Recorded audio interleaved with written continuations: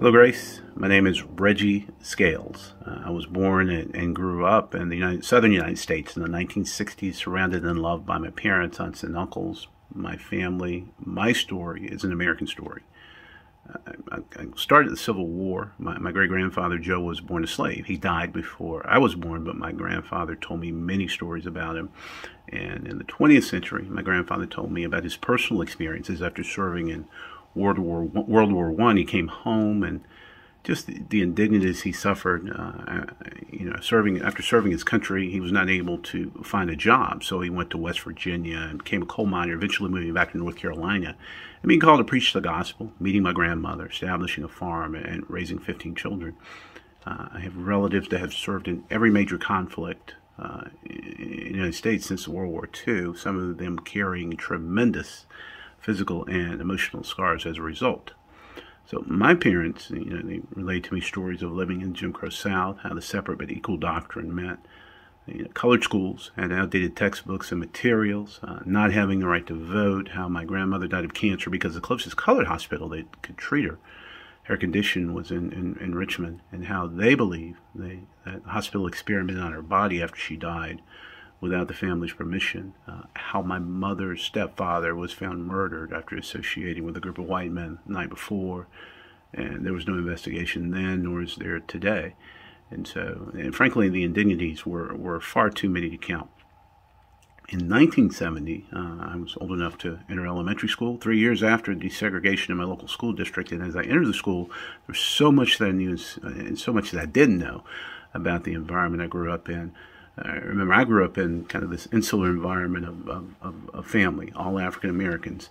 And my experience in K 12 and even through college was the exact opposite. And as I moved through middle school, high school, and started to see subtle and less subtle actions of my peers directly related to, ra- related to race. And so I went on to Appalachian State University, where I began to experience life in its truest form, not only from the challenges of a young man, but trying to figure it out as an African American man and I worked hard, and doors started to open for me, and I became the first African American student manager of the of the student union, and the first African American to graduate with a degree in community regional planning. After graduation, the first part of my career I spent in government, and I held three positions in the public sector over a 12-year span. With each position, I was the first African American male to hold a director level position. Joined the private sector in 2000 and since then, I've worked for three engineering firms. The, the first firm, I was the first uh, African American vice president. Uh, the company's North Carolina operation. Second firm, first African American company principal and board member.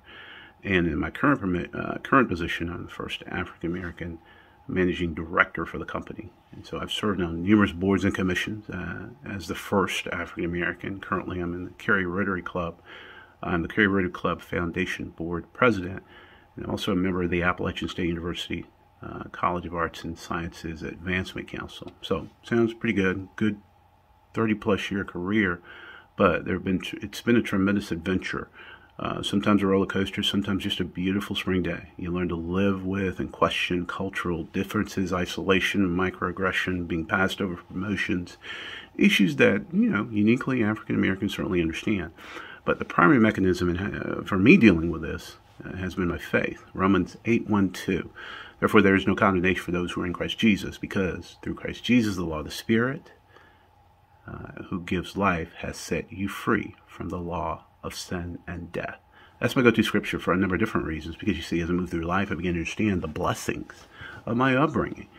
And my parents, Joe and Mary Scales, set the tone. High expectations and standards. Aunts and uncles provided guidance and advice, and my, my grandparents provided that agape love that I so needed as a child. They, they truly were and, and, and still are my North Star. So I learned that excellence should be incorporated into everything that you do. Failure is our greatest teacher.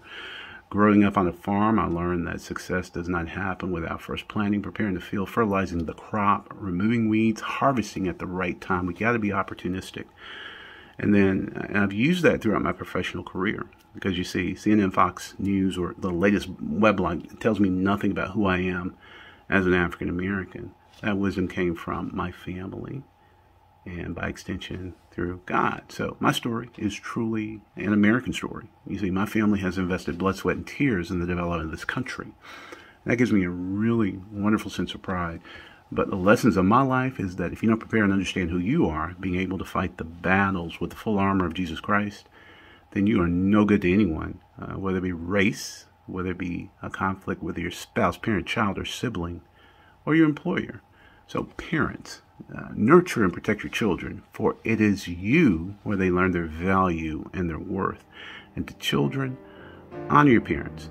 They are the wellspring of wisdom and will prepare you for the many challenges and the blessings that await you in life.